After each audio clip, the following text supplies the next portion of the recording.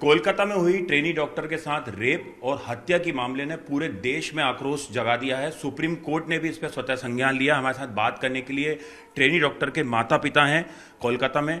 Sir आज supreme court ने भी इस पर स्वतः संज्ञान लिया है और तल्ख टिप्पणी की है। आपको लगता है कि कहीं ना कहीं अस्पताल प्रशासन ने एक बड़ी चूक की है? पहले से तो हमको अस्पताल के जो डिपार्टमेंट है डिपार्टमेंट जो है जिसका पास मेरा लड़की को भेजा था वो ऑन ड्यूटी में था। एक ऑन ड्यूटी में एक लड़, जो लड़का हो या लड़की जिससे काम करता है। जैसे हमारा अंदर तीन चार आदमी काम करता है उसका जो ज़िम्मेदारी है वो तो मेरा ही है ना? जी। कोई दुर्घटना घट जाए तो मेरा हमको ऊपर ज़िम्मेदारी पड़ेगा। लेकिन उस लोग अभी तक इसके बारे में आज इतना दिन में कोई हम फ़ोन से भी बात नहीं किया। उधर काम जितना छः सात घंटा था उस टाइम में भी हमसे बात नहीं किया था। इसलिए तो हम डिपार्टमेंट को पूरा पूरा से पूरा डिपार्टमेंट को ही दायी कर रहा है पहले से ही।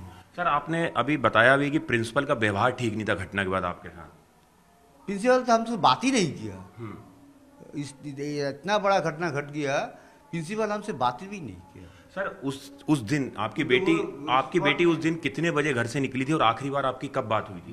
अगले दिन सुबह आठ बजे आठ बज कर दस मिनट से घर से निकली थे और रात ग्यारह बज कर पंद्रह मिनट से माँ से बात हुआ था। फ़ोन से हम भी पास में था। वो सुन रहा था मैं क्या बोल रहा है लड़का? क्या मैडम क्या बोला था आपकी बेटी ने लास्ट आपसे बात जो करी उसको खाना उसको खाना आ गया हम हम लोग सब मिल के खाना खाएँगे। तो आप लोग खाना खा के और बापी को बोलिए मेडिसिन लेके सो जाइए ऐसे ही बात है। और सर फिर अगले दिन सुबह जब उनका शव मिलता आपको कितने बजे फ़ोन आया और किसने फ़ोन किया था? दस बज के तिप्पन मिनट पर फ़ोन आया। और उसके बाद हमने किया। उसके बाद उसने उस, उधर से भी फिर एक बार फ़ोन आया उनसे बोला मैं असिस्टेंट सुपर बोल रहा हूँ आपका लड़की लगता है सुसाइड कर दिया ये ये अस्पताल ने बोला था हॉस्पिटल से हमको यही और पहली बार आप उनकी आपने बॉडी को कब देखा था अपनी बेटी को? साढ़े तीन चार साढ़े तीन बजे उतना ध्यान में नहीं है तो साढ़े तीन तीन के बाद तीन बजे के बाद ही देखा था। साढ़े तीन चार बजे देखा था। और सर इसमें एफआईआर होने में आपको लग रहा है पुलिस बहुत लेट मौके पे पहुँची है सर जो घटना स्थल है वहाँ पर? नहीं नहीं पुलिस पहले ही पहुँच गया था। पहुँच गई थाना तो थाना हॉस्पिटल में ही है। अच्छा। ये आउटपोस्ट है थाना हॉस्पिटल में।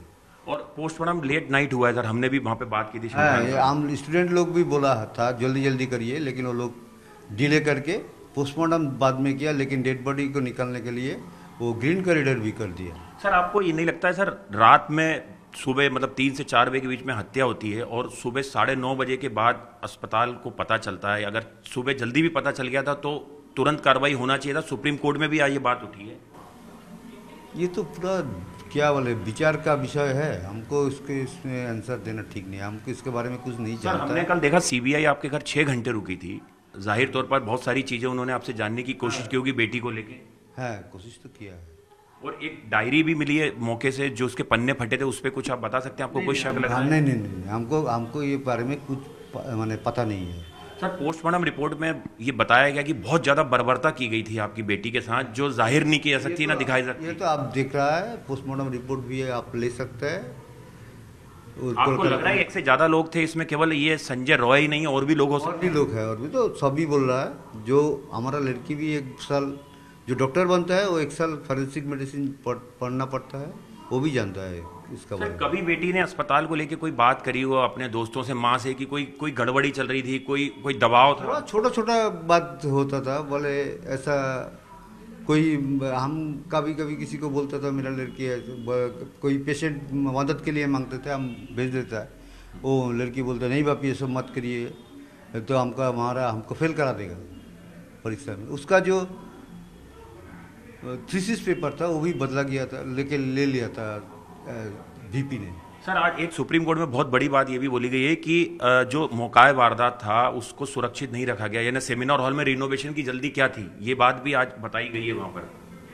ये तो फिर एक, एक ही बात है वो विचाराधीन विषय है वो लोग अच्छा क्या क्या सोचा है उन्होंने तो बोल ही दिया। मैम आपकी बेटी अब इस दुनिया में नहीं है। ज़ाहिर तौर पर वो बड़ी डॉक्टर बनती अब अस्पताल प्रशासन के बहुत सारे डॉक्टर हैं जो दबी ज़ुबान में नहीं बोल पा रहे थे। अब खुल के सामने आ रहे हैं। अब पूर्व प्रिंसिपल पे कोलकाता पुलिस ने भी एफआईआर दर्ज कर ली भ्रष्टाचार के मामलों को लेकर आपको लगता है कि जो अस्पताल था कहीं ना कहीं उसमें कुछ गड़बड़ चल रही थी? अवश्य। तो डिपार्टमेंट से डिपार्टमेंट को तो हम पहले से ही इसके बारे में मैंने संदेह कर रहा है।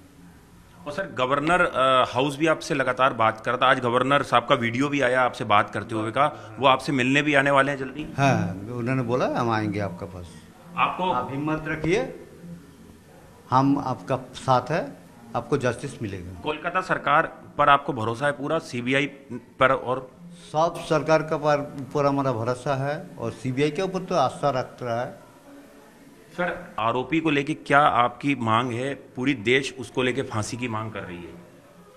उसका जो जस्टिस जो जो इसके लिए तो न्यायालय है न्यायालय जो जस्टिस देगा वही होगा। शुक्रिया न्यूज़ 18 इंडिया से बात करने के लिए। तो ये थे टेनी डॉक्टर जो पीड़ित के माता पिता थे जो बता रहे हैं कि किस तरह से उन्हें जुडिशरी पे विश्वास है उन्हें कोलकाता सरकार के ऊपर विश्वास है सीबीआई की जाँच पर विश्वास है और जो जाँच होगी वो निष्पक्ष होगी। कैमरा पर्सन युगल के साथ आनंद तिवारी न्यूज़ 18 इंडिया कोलकाता।